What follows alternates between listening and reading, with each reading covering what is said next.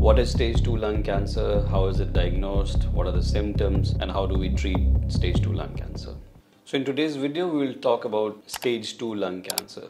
So, stage 2 lung cancer is again defined by the TNM classification. In this stage, the tumor is more than 3 centimeters in size but less than 5 centimeters in size in its maximum dimension, or the tumor is involving one of the main bronchus. In terms of N or nodal status, the tumor is only involving nodes around the lung or the hilar lymph nodes and it has not spread to lymph nodes in the mediastinum. And M has to be zero, which means there has to be no metastasis to the distant organs. This is stage 2 lung cancer. Stage 2 lung cancer can again be asymptomatic and picked up on routine investigations done for other reasons or it can have symptoms like a cough that worsens over time or a cough that does not go away, the presence of blood in your cough or spit, chest pain, back pain, shortness of breath while climbing stairs or while exercising, change of voice like hoarseness of voice, or some other symptoms. Diagnosis of stage 2 lung cancer is again made with radiological means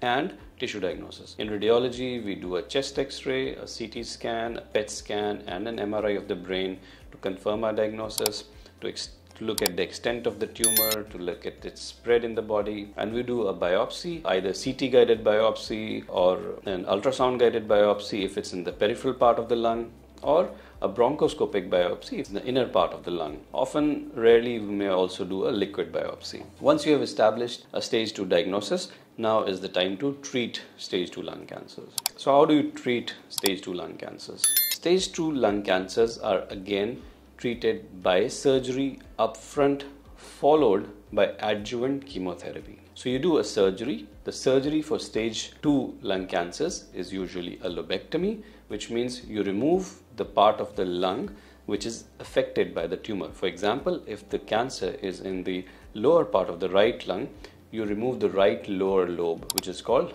right lower lobectomy and along with it you do a systematic mediastinal lymph node dissection which means you will remove all the lymph nodes surrounding the lung all the lymph nodes near the airway all the lymph nodes near the food pipe all the lymph nodes of the mediastinum so as to achieve complete lymph nodal clearance. Now this surgery can be done by three ways. The first way is an open technique or a classic thoracotomy where you cut open the chest, spread the ribs, put your hands inside and remove the tumor. Or you can do it by minimally invasive means. You either do it by a video assisted thoracoscopic surgery, which is similar to laparoscopy, or you do a robot assisted thoracoscopic surgery. The minimal invasive thoracic surgery is very popular these days because it is less morbid, has less blood loss, is less painful, has better cosmesis early discharge from hospital, and early return to work. Once you've done the surgery, you've sent the sample to the lab. The lab will analyze the specimen, run a certain tests on it, find what's the exact tumor biology. They can also look for certain mutations. They can also look for immune changes in that sample and then give you a final report. After the final report is delivered, these patients are invariably subjected to chemotherapy. This chemotherapy that's given after a surgery is called adjuvant chemotherapy. Adjuvant chemotherapy can be given up to almost six cycles after the surgery. There's also growing evidence for the use of preoperative chemoimmunotherapy for resectable lung cancers. The Checkmate 816 trial talks about giving chemotherapy, platinum based, along with nivolumab, which is a form of immunotherapy, to one group of patients, and chemotherapy alone to another group of patients.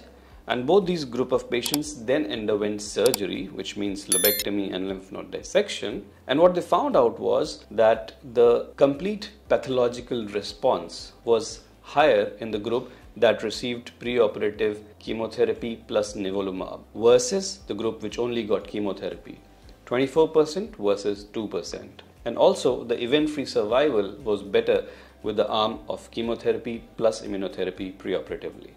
There is another concept, immunotherapy and chemotherapy for stage 2 patients, which is called perioperative uh, chemoimmunotherapy. So there's a drug called pembrolizumab, which is a form of immunotherapy. So there was a study which talked about giving preoperative pembrolizumab plus chemotherapy followed by surgery and then giving adjuvant immunotherapy with pembrolizumab again to one group of patients versus another group of patients which only got preoperative chemotherapy plus a placebo followed by surgery followed by adjuvant placebo again. When these two groups were compared, the scientists, the researchers found out that the event-free survival was higher in the group that received perioperative pembrolizumab which means pre-surgery and after surgery. They also found that the overall survival was better with perioperative pembrolizumab, although not statistically significant. And also, the pathological complete response and major response were better in the arm that received perioperative immunotherapy.